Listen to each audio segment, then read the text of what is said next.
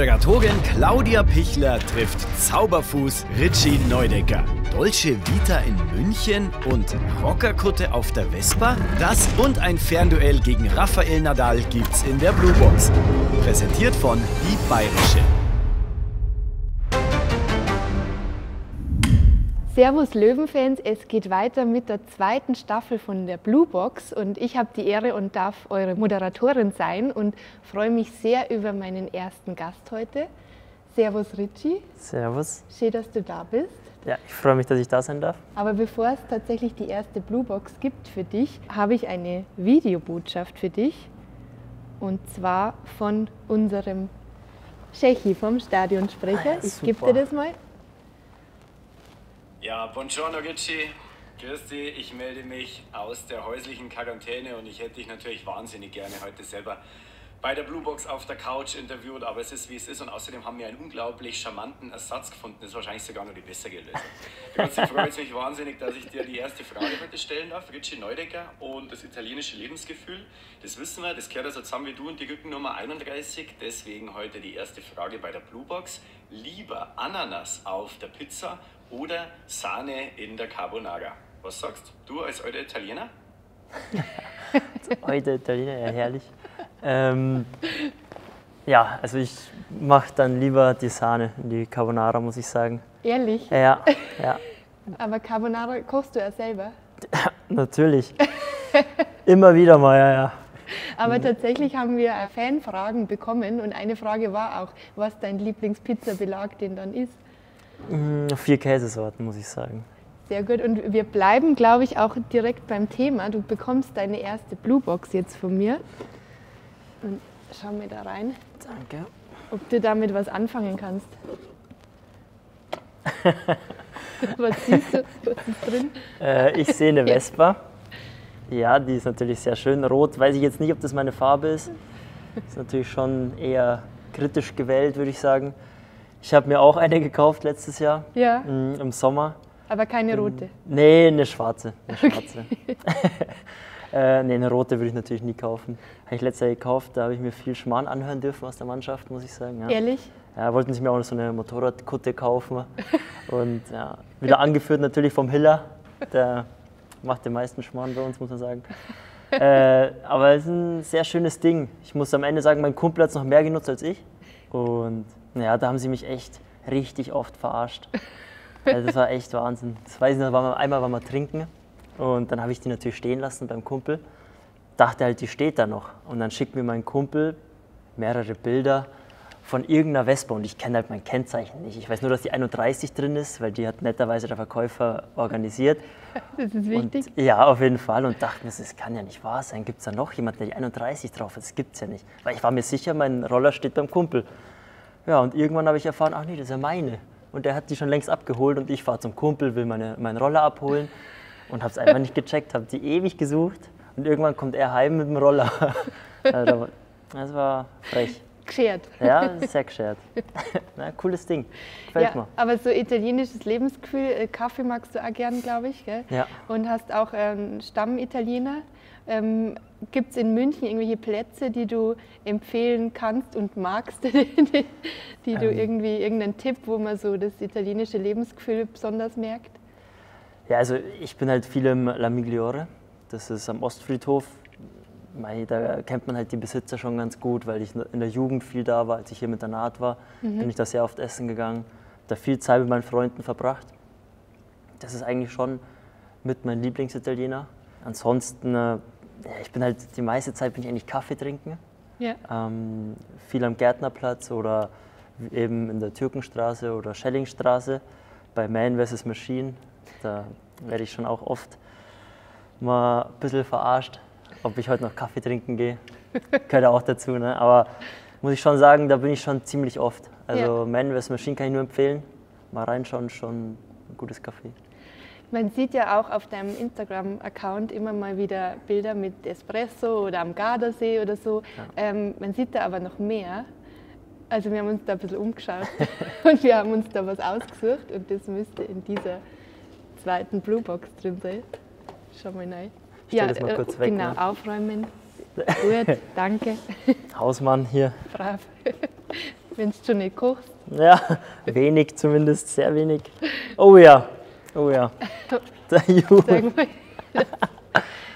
Ja, sehr schön. Es ist äh, ein bisschen ein älteres Foto, da die sagen, oder? Ja, schon ein, zwei Jährchen her, ja. Erzähl mal, wie das entstanden ist. Mm, Ju und ich waren ja im Internat zusammen. Wir haben uns da super verstanden. Wir haben schon relativ viel miteinander gemacht. Aber ich muss sagen, es ist ewig her und wir sehen eigentlich beide gleich aus, oder? Ja, vor allem sehr jung schaut sie aus. Ja, das stimmt, das stimmt. Also ich glaube, er hat jetzt nicht viel mehr Bart bekommen. Ich habe ein bisschen Bart bekommen. Ansonsten würde ich sagen, sehen wir beide ziemlich ähnlich aus. Ja, und ich dachte, vor kurzem sind meine Haare hier haben aufgehört zu wachsen, ne? aber man sieht, das war schon damals auch so. Muss man leider, muss ich gestehen. Aber es ist ein schönes Bild. Ich habe noch immer Kontakt zu Ju. Aber äh, das ist jetzt nur einer von deinen äh, vielen Weggefährten. Du hast ja auch schon einige Stationen hinter dir, einige äh, Mannschaften kennengelernt, viele Kollegen natürlich. Und ich würde dich jetzt mal bitten, wir gehen jetzt gleich mal darüber an die Tafel, dass du einfach mal deine Lieblingself, deine Traumelf äh, aufschreibst und zwar bestehend aus Spielern, mit denen du einfach auch schon mal äh, zusammengespielt hast. Also es kann natürlich nach Fußballtalent gehen, aber auch nach Sympathie, wie du es dir wünschen würdest. Okay. Das gehen wir jetzt mal an die Tafel. Alles klar. Da bin ich mal gespannt. So, Rich, jetzt wird's ernst. Da ist dein Stift. So, also hinten muss natürlich der Hiller dazu. Ne? Würde mich jetzt killen, wenn ich ihn nicht reinmache. da muss ich ihn ja fast mitnehmen. Fangen wir in der Innenverteidigung mal an. Da würde ich den äh, Felix Weber auf jeden Fall nehmen. Und neben ihm, also ich darf auch Spieler von St. Pauli und so, alles drum Ja, und dran. ja. Na, super. Dann nehme Die ich freie dann, Auswahl. Dann nehme ich dann den Schoppe. Mhm. Den, mit dem habe ich zusammengespielt auf St. Pauli. Dann links hinten, äh, da würde ich einen Wittek Maxi nehmen. Die habe ich in der A-Jugend zusammengespielt. Mhm. Rechts hinten nehme ich den äh, Pachonik, mit dem war ich in Venlo in Holland. Das ist immer noch ein guter Freund von mir. Wir haben noch sehr viel Kontakt. Auf der 6 nehme ich Bernd Nerich. Den habe ich auch auf St. Pauli gespielt. Den habe ich viele Urlaube in Österreich verbracht. Ein richtiger Suffkopf ist es. Also ist es sagen. dann mehr eine Sympathieentscheidung als jetzt. Ja, schon Ah, ja, viel, okay. sehr viel, Okay, sehr ja, viel. ja. Ja, aber da ist natürlich auch viel Qualität auf dem Platz. Ja, gut. Dann würde ich rechts, also ich spiele 4-4-2 Raute. Mhm, okay. Da ist der Sechser ist Bernd. Dann würde ich rechts den Ju natürlich nehmen. Ja. Weigel. Links nehme ich den äh, Emanuel Taffertshofer. Dem habe ich in der A-Jugend zusammengespielt. Ist auch noch ein enger Freund von mir. Auf der 10, da kenne ich einen guten. Ah ja, das war ich selber. da würde ich mich selber aufschreiben. Sehr gut. Im Sturm Mats Müller-Deli, der ist jetzt in Nürnberg. Der ist eigentlich Zehner, aber der kann auch, ich habe keine Ahnung, wie man den schreibt. So wie man spricht. Schon, oder? So, das ist ein Riesenname. Und neben ihm Fährmann nehmen. Mit dem habe ich auch auf St. Pauli zusammengespielt. Und hast du noch Kontakt zu den allen? Oder? Mhm, zu den meisten schon, ja. Nee, da war schon viel, sehr viel Sympathie jetzt mit dabei. So, meine jetzige Mannschaft habe ich mal außen vor gelassen, außer Marco, weil den kenne ich auch noch aus der Jugend. Ansonsten äh, hätte ich da natürlich schon noch mal den einen oder anderen dazugesetzt. Ja, also auf jeden Fall Ja, ich Ja. denke, da können wir auf jeden Fall Regionalliga kriegen wir hin. super. ja, sehr schön. Lass uns gern wieder hinsetzen. Sehr gerne. Vielen Dank. Ja, super. Du, wir machen gleich weiter mit der nächsten Blue Box. Bist du bereit? Ich bin bereit.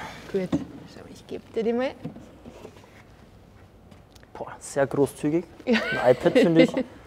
Vielen Dank. Ja, sehr gern. Aber da gibt es tatsächlich was zum Anschauen. Ach so. Ähm, entsperr die mal. Weißt du den Code? Nein, Profi. jetzt schon. Das ist mein Bruder. Ja. Servus Richie. Wie wir dir ja schon oft gesagt haben, bist du ein Riesenvorbild für nicht nur mich, sondern für unsere komplette Familie.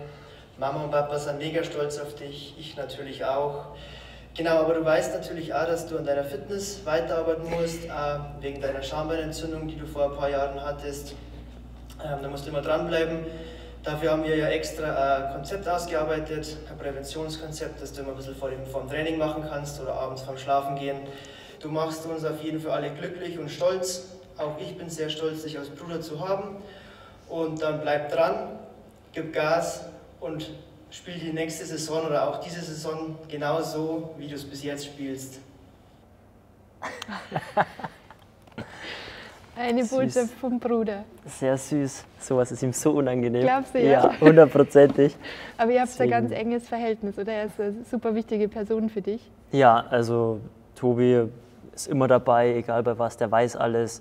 Äh, den frage ich immer um Rat. Also ich war jetzt heute auch im Fitness davor mit ihm noch. Also mit dem mache ich echt alles. Wir haben echt eine sehr, sehr enge Verbindung. Ich glaube, das ist nicht normal äh, zwischen Geschwister oder nicht immer so. Ja. Und da bin ich schon sehr, sehr stolz drauf, dass wir das pflegen. Das ist auf jeden Fall was ganz, ganz Besonderes. Aber es war sehr rührend, aber auch gleich ermahnend. Ja, das ist er, so ist er. Ja. Also wir haben ja auch ähm, ein Fußballcamp zusammen und da ist er genauso motivierend wie auch, aber extrem kritisch und wenn ihm was nicht passt, also der ist der geborene Chef, weil der ist wirklich, der zieht das so knallhart durch und wenn ihm was nicht passt, dann gibt es da kein Zögern. So, der sagt dir das direkt und zwar also wirklich komplett hart. Also der sagt dir das so, wie er das denkt. Ja. Ja, aber das macht ihn auch aus, also genau so muss es auch sein. Und ja, so ist er halt, Ja. der Tobi. Ja, wir wollen dich natürlich auch noch in Action sehen. Deswegen ähm, gibt es noch eine weitere Blue Box für dich. Ähm, die hat aber auch eher was mit einem Hobby von dir zu tun. Also ich weiß nicht, was machst du sonst noch so zum Ausgleich? Also hin und wieder spiele ich Tennis mit Freunden. Ich weiß nicht, ob das jetzt was damit zu tun hat. ähm, ja, ansonsten, Schau doch mal rein. natürlich Ein Tennisball. Tennisball, genau. Aber du sollst gar nicht unbedingt Tennis spielen damit, sondern äh, du bist ja unser feinster Techniker Mhm. und wir wollen dich beim Hochhalten sehen. das habe ich mir fast gedacht. Das hast du ja so schön schon mit Klopapierrollen bewiesen, dass du das kannst. Und, äh, Das habt ihr auch auf dem Instagram gesehen, oder? Ja. natürlich. Na super, da Also- freue ich mich. das mit dem feinsten Techniker, ne, das war voll. Also drei Versuche, ich zähle mit und drück den Daumen.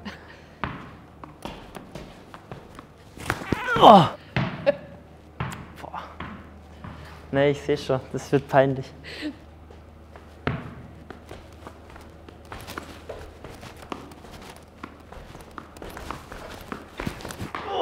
Wow, zehn Oh, schon mal, das war schon mal geknackt. super. Das war wichtig. Jetzt komm, einmal nur.